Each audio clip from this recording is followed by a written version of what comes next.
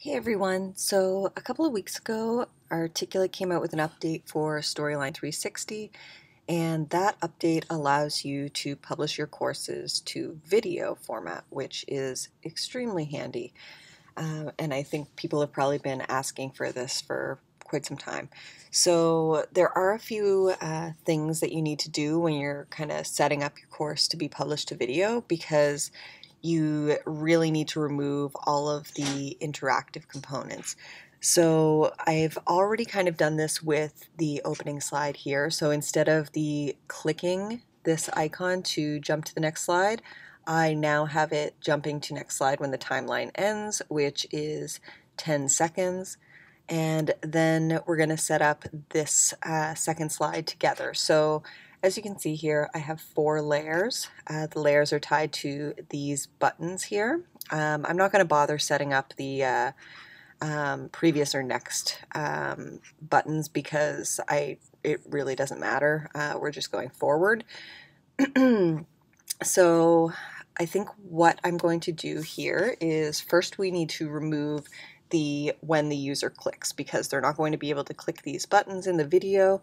Uh, so we need to kind of uh, force the movement. So what we're going to do is we are going to show, so the first button here, button one, what I'm going to change the trigger to is show layer, button one, when the timeline ends and the timeline of that slide and then I'm going to delete the uh, click trigger.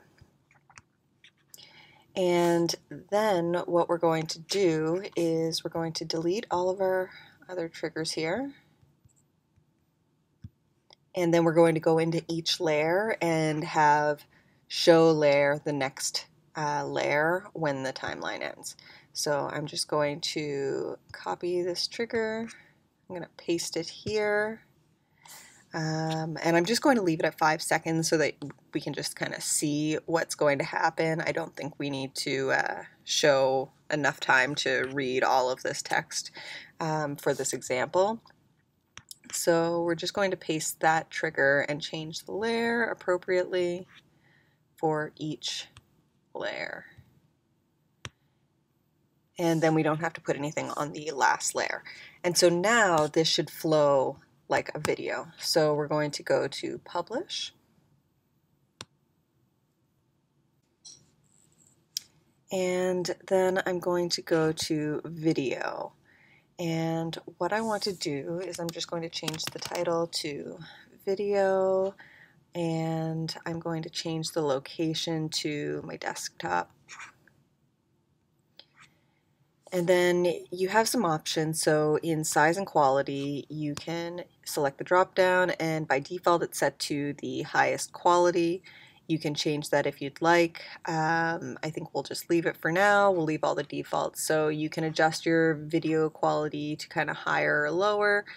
Um, you can set the same volume level for all audio if there's audio. Um, you can choose, if you don't have custom navigation, to follow the uh, text actions.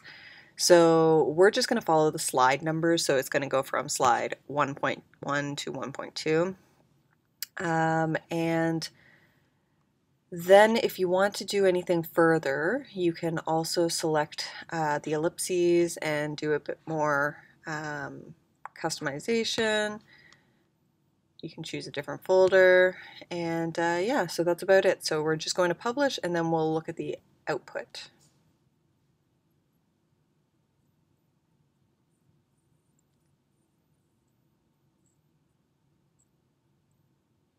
Now it's going to likely take a little bit longer to publish because it's essentially creating this video.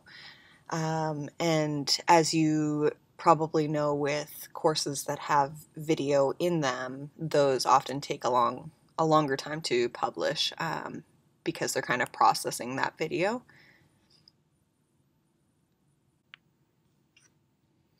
Okay, so now our video has been published, so I'm just going to close this because I'm in I'm in Parallels and I really don't want to open up my Windows side of things. And then we're going to navigate to the desktop, find our video output, and then we're going to have a look at our video. Now what we should see is we should see our um, video advancing as the timeline ends. So we should see our layers changing as each uh, timeline ends of the previous layer.